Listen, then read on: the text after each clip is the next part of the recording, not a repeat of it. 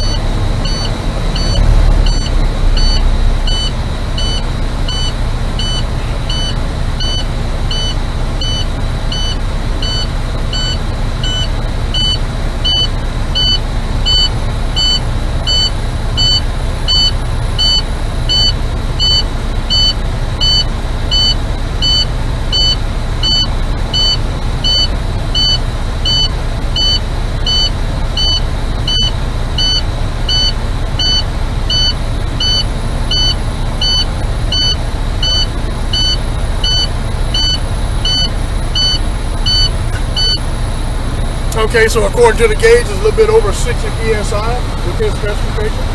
So now what we're doing now, we're going to have the, we're waiting for the uh, system to build up, the air dryer, and, and what it would do, it would, it would what we call purge, and what it also called cycle, and that will let us know that our tanks are uh, filled to capacity. What I want to do is bring us over to the air dryer, show you what an air dryer is, and uh, listen in as it purges. Okay, what we're doing now is waiting for the air dryer to go ahead and purge. And that's how we'll know that our primary and secondary tanks are filled. So that's what we're waiting for. Right now we're looking at the air dryer.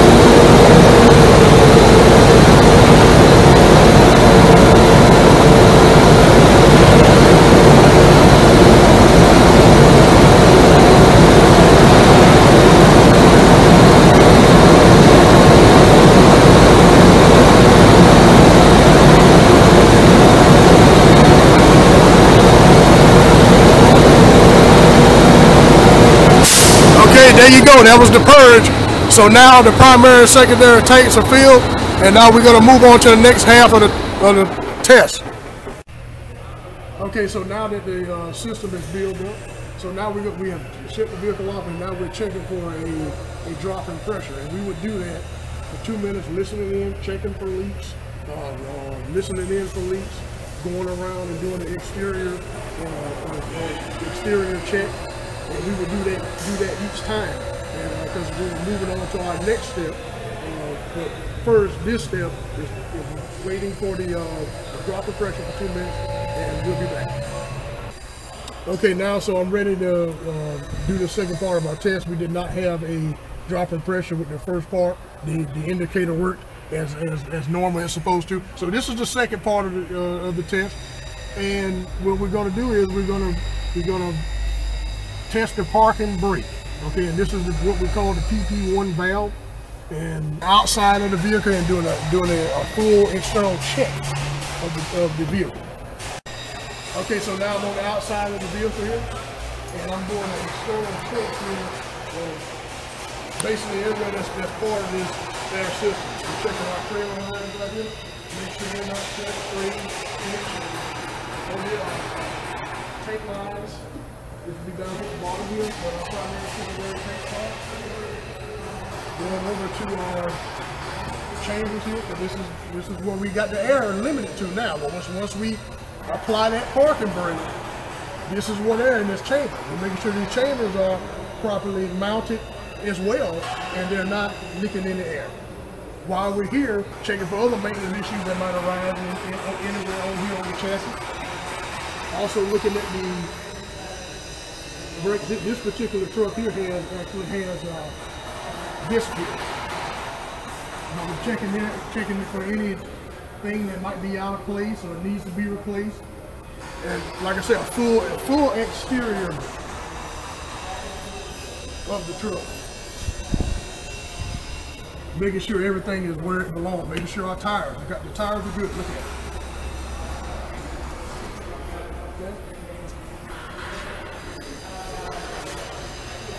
So we've, passed that portion of the test, and we'll be back with the next half. Okay, go ahead. Okay, so now I'm doing the second half of the of the test, and I'm here uh, as the giving you the POV of what I'll be doing, and we're check we're checking the service brake here on the international. Okay, I have my uh, assistant here. He's going to go ahead and apply the service brake, and we're going to be going ahead and doing our check to make sure that we don't have any air leaks. So we started up here at the front, looking back here. This is a service brake. Will be uh, attached to the front wheels, and we're going to do just like we did before with the with the uh, parking brake, doing the exterior, making sure that we do not have any air leaks on here. Okay, so going around here, checking checking there, make sure it's everything's properly mounted and secured.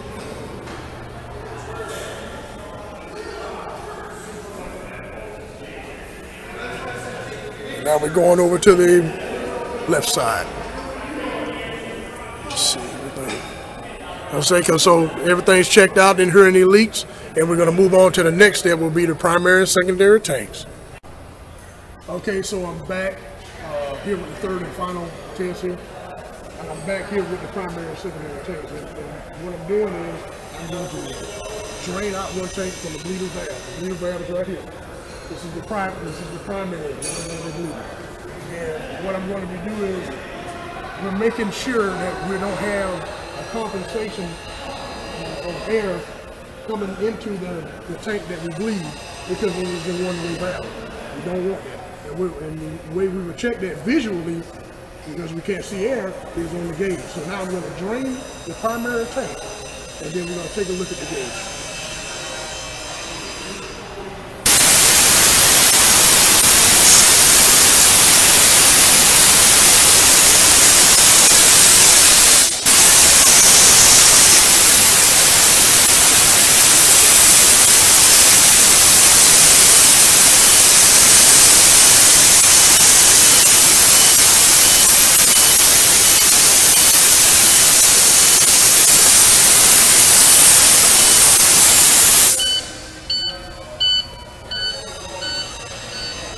Now I'm gonna go into the cab and we're gonna look at the gauge.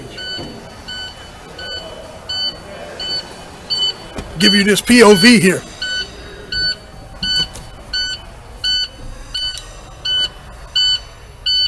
As we can see, I, I, I went ahead and drained it from the, okay, that was the, drained from the tank here. And as you can see, the primary and the secondary uh, gauges are different, had a different reading, and that means it is not compensating for that which, which registers as a good valve. Okay, and also you hear that the, the pressure, low pressure indicator is also ringing as well. So that tells us that test as well is uh, is accurate. So we have a, a past air system test here on this 2012 International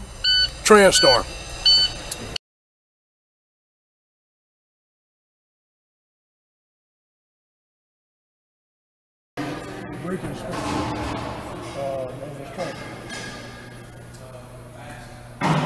It's important to follow manufacturer specifications when we're doing this.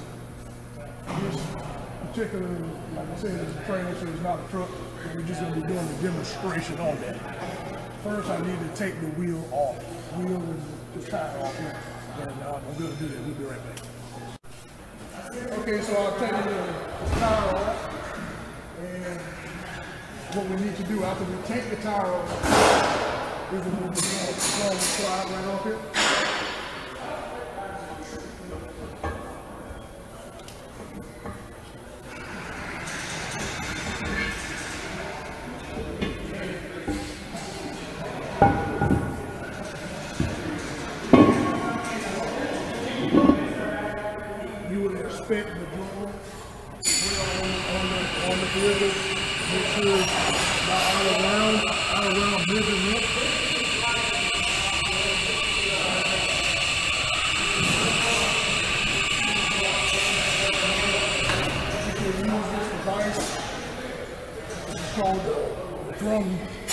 Drum caliper. And we would go to inside inside of it and measure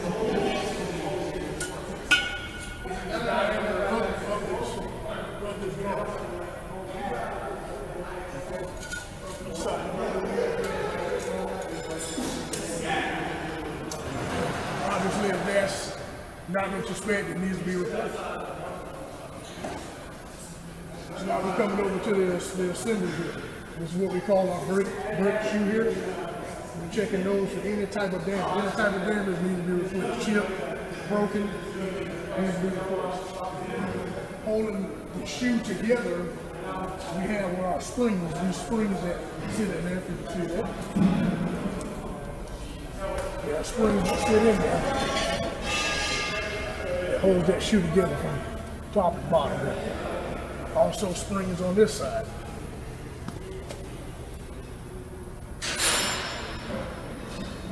Okay. And then we have our, which, which connect from the shoes is to the S-cam, our rollers here, we can inspect our rollers. The roller. S-cam, it needs to be greased, there's a good amount of grease there on there. And the S-cam housing. And this is the shield behind the S-cam. And we're coming over to, from the S-cam housing to the spider.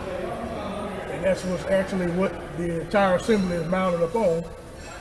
We're coming back from the S-cam housing to what is known as the slack adjuster. So, okay, since 1994, they've been automatic slack adjusters. And we want to make sure they are, are in spec when we're being, when we are inspecting those, if this is on a particular truck. Also, what we want to make sure too is our lines that connect to the brake chamber, air lines, are in good condition and also that that brake chamber is properly caged when we are inspecting those brakes on the vehicle.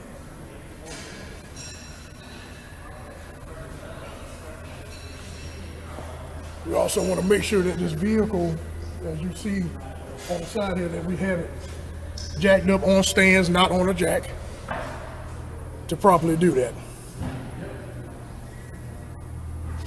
All right, and that was how to do the brake inspection.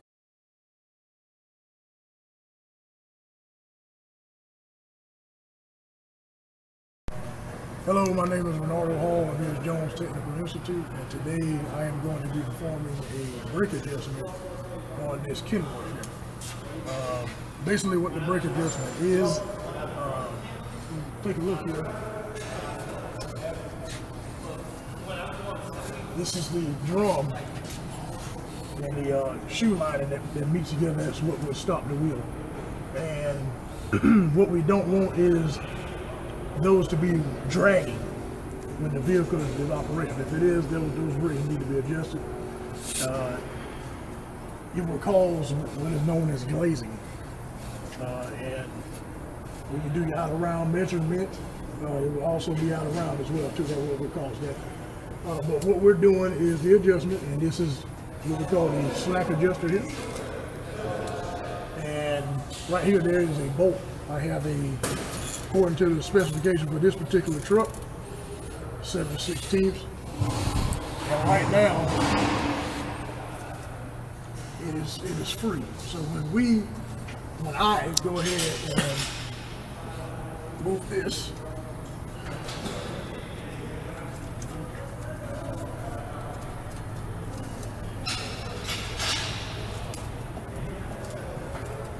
we're going to get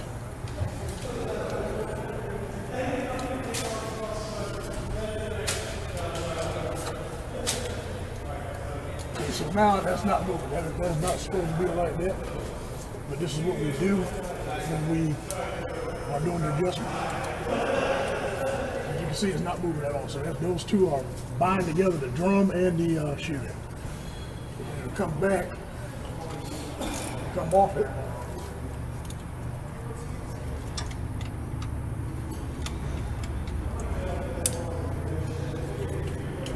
Go uh, half turn.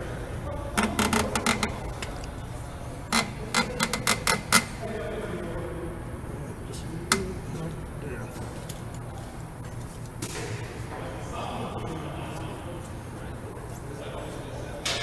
We did a half a turn on that and we're gonna make sure that it is not dragging. And as I'm feeling on it, listen to it, there's drag, we got a significant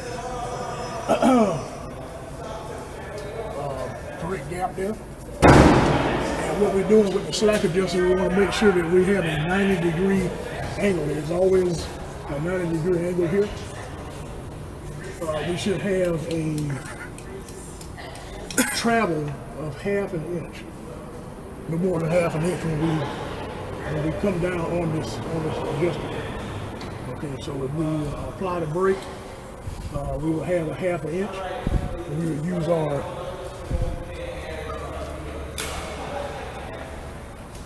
to grab the tape measure.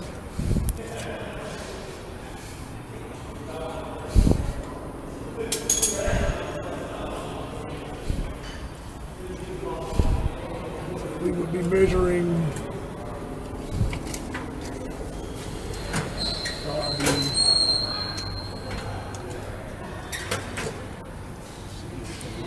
Go ahead. Apply the brake. I, I about it.